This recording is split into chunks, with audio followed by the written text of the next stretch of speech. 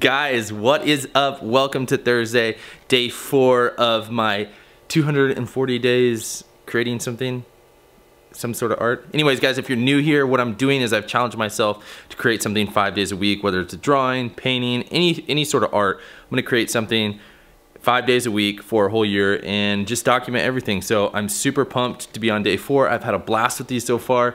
First week is going strong and I'm super pumped on today's art piece on a kind of a Pokemon kick just because Asher, my son, we've been like re-watching all of the Pokemon shows. Well, I've been re-watching, Asher hasn't seen them yet. And so it's super nostalgic for me. So today I've created some art around my second favorite Pokemon, Snorlax. So with today's drawing, I did the first kind of base and mock color. Um, I ended up changing the colors on the Snorlax, but I did it on paper first.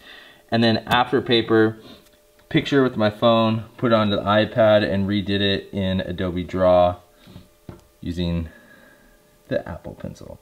Sometimes I just do the iPad, but this time I kind of wanted to, I haven't drawn on paper in a while, so I wanted to, I wanted to doodle on paper and then bring it into the iPad. So with that being said, guys, I hope you enjoyed today's art project. Appreciate all your feedback. If you guys have any suggestions on anything I should draw, drop it in the comments below. And uh, with that being said, guys, enjoy this art. I'll see you in the next one. Peace. Flower bliss.